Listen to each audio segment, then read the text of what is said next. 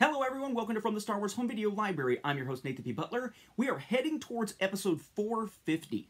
Just so you know, episode 450, which is not really the 450th episode, there's been a lot of supplemental episodes and things like that, but numbered episode 450 is coming up, and I want to give you a sense that what we're going to be looking at in the near future is going to be some Japanese laser discs. Uh, I have recently replaced the uh, copy I had of the Return of the Jedi Special Collection Laserdisc with one that now has an Obi, so I can show you that very briefly in some future episode. But I also have a lot of making of specials that are either in my hands or on their way to me uh, from purchases either from Japan or from US sellers who have these Japanese copies to show you Japanese Laserdiscs that I've been eyeing for years but never did wind up grabbing. And at least some of those are going to wind up being featured in episode 450, which to me makes it a little special because here we are in this weird drought with not a lot of new Star Wars home video releases. We get a chance to check out something I find pretty cool in episode 450.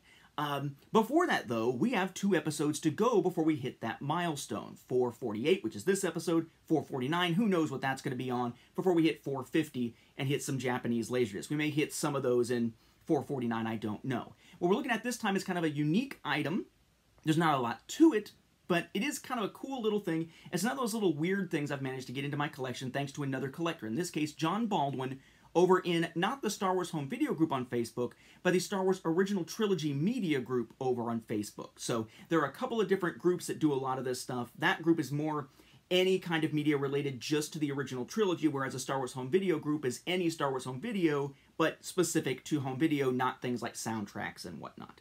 And what I managed to acquire from him is something that he uh, happened to have in his collection that he sent over uh, to me that I could add into mine uh, for a very reasonable price, I must say, is an item that is similar to a preview cassette that we saw here previously. And we had seen a preview cassette, basically, of the 1995 trailer for the THX Remastered Edition that would just play on a loop in American video stores ad nauseum to kind of get people interested in it while they were in the video store, the Blockbuster, Hollywood Video, whatever it might be. Well, in the UK, there was a similar type of thing helping to hype up the 2004 DVD release of the original trilogy, which, of course, over there was either on uh, widescreen DVD for the wide release in silver packaging, or still on widescreen DVD but in gold packaging as an exclusive to HMV. We've looked at those quite a bit before in various uh, variations of whatnot.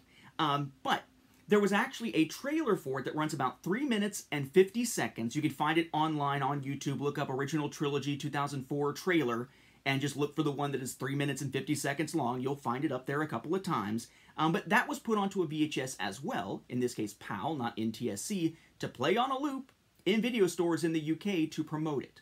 That is this. Pretty plain packaging here, a little smudgy. Plain case here, very generic.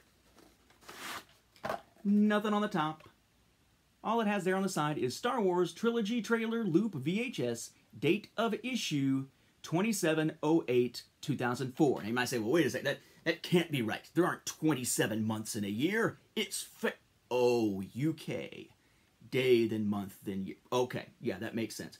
Uh, August 27, 2004, to pop into a player to run on a loop at a video store. Now, if you're curious how many loops there is, because that's really the only other thing to be curious about when it comes to this, right? We know it's 3 minutes and 50 seconds. We know which trailer it is. You can look it up online. All it has is the one label. It is PAL instead of NTSC, which is interesting. Um, it starts out with 25 blank seconds, and then it starts playing the trailer. Again, one run of the trailer is about 3 minutes and 50 seconds.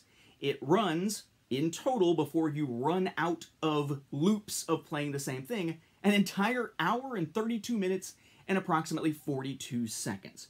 Which means, if I did the math right, that's about 24 loops of the same trailer over and over and over and over again.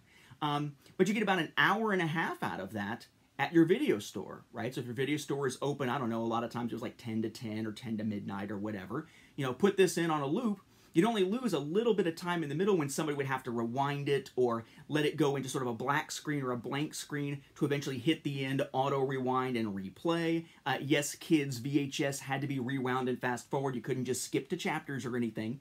Um, but yeah, you just sit there on a loop, and and you know a typical day, you'll probably go through the loop several times, right? But by having it have, you know, like an hour and a half worth of loops, it wouldn't be quite as bad as trying to do it on something where maybe there was less tape in the cassette and maybe they ran, you know, just like a 5 minute, 10 minute, 20 minute, half an hour type of loop because that would wear the tape out more quickly um, by having it run over and over again. So, kind of a cool little thing. Again, nothing really to speak about other than just what the trailer is, how many loops it is, and that sort of thing. But a cool little addition that just goes again to show that sometimes you can find weird little items coming out of various places like video stores um, or Frito Lay or Pizza Hut and some other places we looked at before, uh, if you're looking for oddball items to include in a Star Wars home video library. With that, we'll wrap up this episode. Thanks to John again, and thank you for watching. May the Force be with the home video viewers.